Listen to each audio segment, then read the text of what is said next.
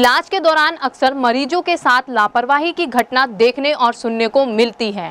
वहीं काशीपुर में एक महिला ने चिकित्सक के ऊपर मुकदमा दर्ज कराने के लिए पुलिस को तहरीर दी है।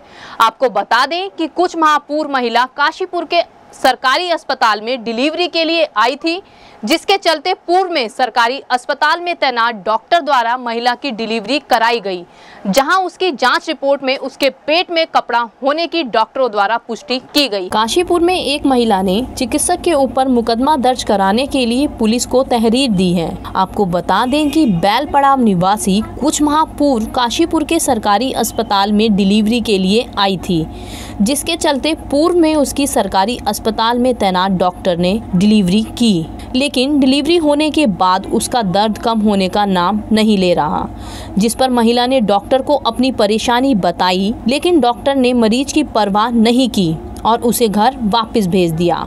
अपने दर्द से परेशान महिला अपने इलाज के लिए ऋषिकेश के एम्स हॉस्पिटल में गई, जहाँ उस महिला की जाँच रिपोर्ट में उसके पेट में कपड़ा निकलने की पुष्टि डॉक्टरों के द्वारा की गई, जिसके बाद महिला ऋषिकेश एम्स से स्वस्थ होने के बाद वापस लौटी और राज्य महिला आयोग की पूर्व उपाध्यक्ष अमिता लोनी से मामले की शिकायत की, जिसके चलते पीड़िता महिला आयोग की पूर्व उपाध्यक्ष अमिता लोनी के साथ आज काशीपुर कोतवाली पहुँची, जहाँ पीड़िता ने पुलिस को तहरीर देकर पूर्व में सरकारी अस्पताल में तैनात चिकित्सक डॉक्टर के खिलाफ कार्रवाई की मांग की।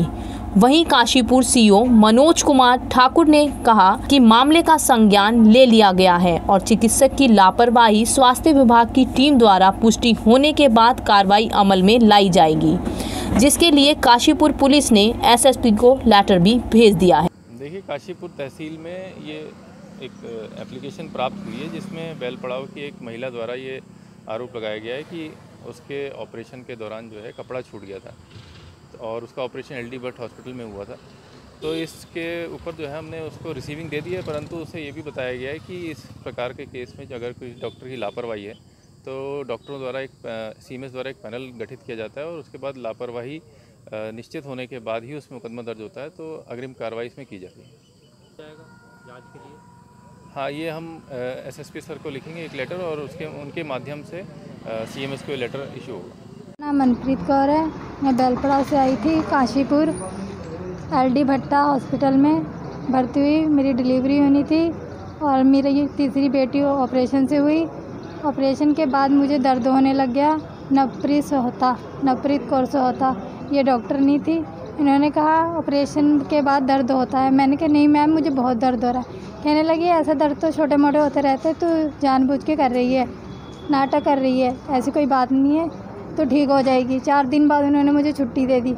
घर जा से गई मैं पहुँची। उसके बाद मेरे गले में नसों में पता नहीं क्या हो गया, मेरा गला सूज गया। बहुत मोटा हो गया। मैंने एमआरआई करवाया गले का। उस नस में फिंसी आई। फिर फिंसी आई, फिर मैंने दवाई खाई लगातार। दवाई खाने के बाद फिर मैंने कहा कि, मैम, मेरे दर्द नहीं हट रहा। आप बताइए क्या बात है? कहने लगी दूसरे डॉक्टर को दिखा तीसरे डॉक्टर को दिखा। हमने कहा हम कहाँ जाए? जब तुमने ऑपरेशन किया मेरे पेट में भी दर्द नहीं हट रहा बताओ तो सही क्या बात है? कहने लगी जाओ जाओ यहाँ से जाओ। नाटक कर रही है बस इतना कह के और हमसे बात ही नहीं की अच्छी तरह। और हमें जाने को कह दिया। उसके बाद? वो मुझे मिली ही नहीं फिर सरकारी में तो। कैश एम्स में। ऋषिकेश गई थी मैं। मैं फिर वहाँ ऋषिकेश पहुँची अस्पताल। वहाँ पे मेरा इलाज हुआ ट्रीटमेंट हुए C T scan M R I सब कुछ हुआ। उसमें पता लगा कि कपड़ा है कि कपड़ा निकालना पड़ेगा। फिर फिर मेरा ऑपरेशन किया उन्होंने कपड़ा निकाला पंद्रह सेंटीमीटर अब ये कोरोना बैग बैग बैग लगा हुआ है ये देखो।